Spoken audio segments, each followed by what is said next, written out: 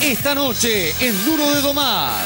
Vuelve Diego. Bilardo dio su palabra y ahí está el problema. Gracias, Diego, en serio, de corazón. Estamos haciendo campaña para que Diego vuelva. No sé cuándo, pero Diego va a volver.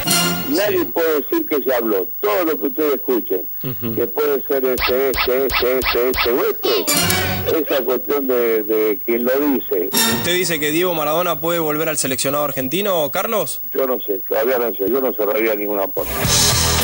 Ruggeri dijo, Grondona me amenazó. Duro de Domar dice, aquí hay gato encerrado. Contá lo que tenés que contar ahora. Otra de las cosas que le dijo el Grondón a Diego, cuando entraron que le dio la mano, lo primero que le dijo, ni buenas noches, ni... No me hables de Ruggeri porque a ese le van a pegar un tiro en las piernas. Eso se lo dijo. Muy fuerte. Por favor, señor, por, usted puede que esto esté, esté- esté convencido de la paloma, pero totalmente infundado. Acá tengo anotado a Enrique, a Mancuso, Signorini y a Ruggeri. El negro Enrique, el negro Enrique, el negro Enrique, el negro Enrique.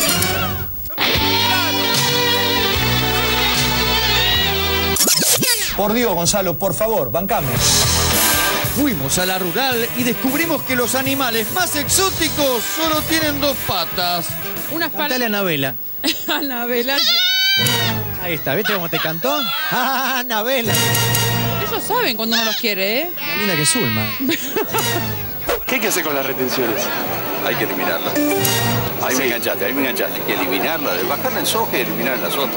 Preguntale a doña Rosa, acá preguntale a la señora cuánto vale. Yo no soy doña Rosa. Doña. Usted no sé quién es, yo no sé. Vicepresidente de la rural. No, no, no, no, yo que quería entrar en una junta terrenal así. Ay, qué mal. Es peor que vos. No, no, él es 10.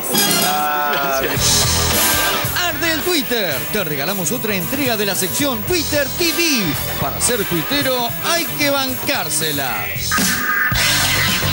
Fernanda Iglesias versus Ricardo Ford y Lucho Avilés. Fernanda Iglesias. Ayer entrevisté por primera vez en mi vida a Ricardo Ford. Me pareció una mierda de persona. Espero no volver a verlo nunca más.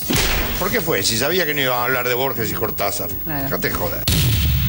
Hugo Biolcati versus Aníbal Fernández. Aníbal Fernández. Espantoso discurso de Biolcati en la inauguración de la centésimo vigésimo cuarta exposición de ganadería, agricultura e industria en el predio ferial de Palermo. Frente a la pobreza, a la injusticia y a la exclusión, no hay diferencias en la mesa de enlace. La opinión es una sola, unánime y contundente. ¡Basta! Hablan de pobres pero no quieren que les toquen el bolsillo. Hablan de diálogo pero les molesta la diversidad y la pluralidad. ¿Quién dijo que las mujeres no pueden hablar de fútbol? Laura Turra. Me gustaría conocer la opinión de los padres que están acá esperando, viendo cómo sus chicos entrenan. Hola, ¿qué tal? Buenas, ¿cómo estás? ¿A vos te gusta el fútbol? No me gusta mucho mirarlo. No me gusta mucho. Por ahí a- de vez en cuando hago unos picaditos así, pero no, no me gusta mucho mirarlo. Ah, o sea, y, y jugás, de vez en cuando te divierte, con amigos ahí. Y con amigos, muy con amigos, juego los fines de semana, boludeamos, así, nada. En otra vida, ¿a vos te gustaría ser jugador de fútbol? Me hubiese gustado ser jugador de tenis. ¿Y en esta vida a qué te dedicas? Yo eh, juego al golf. Nos internamos en el mundo de Susana y descubrimos que 222 es lo mismo que 222.000. Capitán, goleador, multicampeón, ídolo adorado. Él lleva convertidos 222 mil goles. 222 mil goles.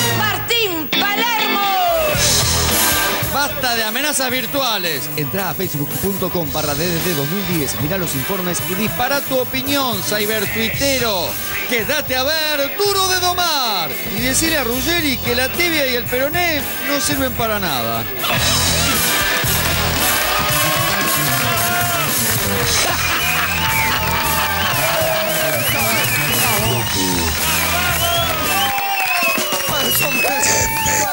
Espectacular, espectacular. Bueno, bienvenidos a Duro de Domar. Buenas noches.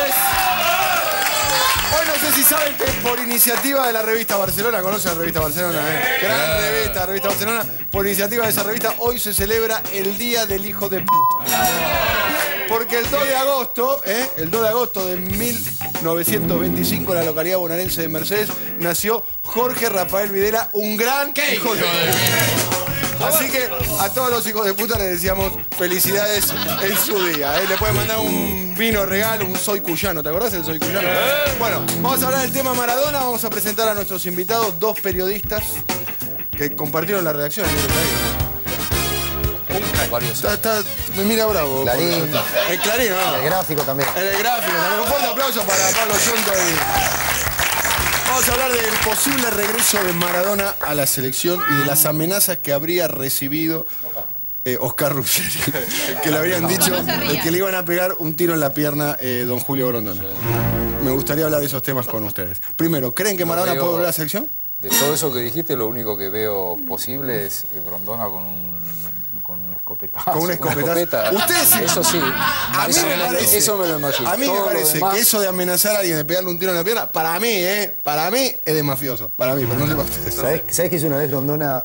este, Me lo encontré en un lugar y Sí. le- iba con mi mujer y le dijo que tenía un vino guardado con mi apellido que en cualquier momento se lo iba a tomar. ¿Un vino? Ay, en serio, pero. Sí, como que me iba a tomar Claro, a mí, digamos. Claro, ¿no? claro. En un Claro, momento que te pase algo a vos, y le iba a descorchar el vino. digamos. Habría que preguntarle, habría que preguntarle si Bueno, vamos a ver. Hablando de cosas mafiosas. Hablando de cosas mafiosas. Mira, si van a decir que Grondona es un mafioso, yo me voy. Así que me voy a quedar.